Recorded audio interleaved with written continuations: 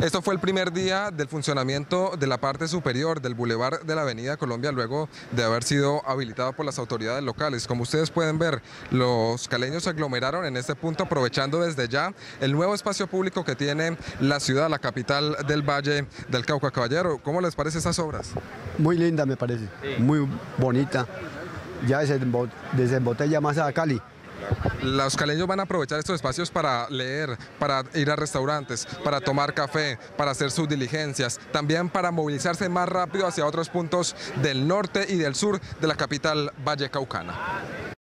El paseo de la Avenida Colombia se inundó de personas momentos después de ser habilitado junto con el túnel. Así lucía el espacio lleno de caleños cuyo único tema era las nuevas obras que fueron entregadas y la admiración por el lugar.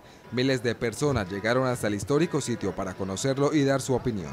Esta obra no nos la imaginábamos así, muy hermosa, muy hermosa. Estamos muy orgullosos, estamos con el ego al 100% de ver estas obras tan majestuosas que, que nos han hecho para la ciudad. ¿Valió la espera? Claro que sí, valió la espera. Valió la espera y, no nos sentimos, como decía mucha gente, robados, no nos sentimos robados.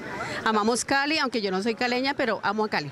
Los habitantes de la ciudad aseguraron que valió la pena la larga espera, los retrasos y las dificultades que generó la mega obra, pero además se sintieron satisfechos al ver el reflejo de sus aportes. La verdad creo que es un progreso que era necesario para el pueblo de una u otra forma creo que es una obra que va a solventar los problemas de movilidad dentro de la ciudad. Satisfecho, satisfecho, orgulloso, orgulloso de este país tan hermoso y de esta obra tan bonita, ese hierro envejecido, hermoso, lindo. ¿ya?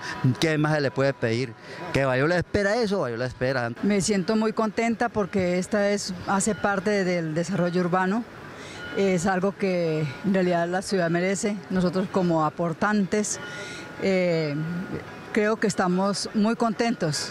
A través de redes sociales, los caleños, incluso desde otras partes del país y del mundo, celebraron la habilitación del proyecto urbanístico.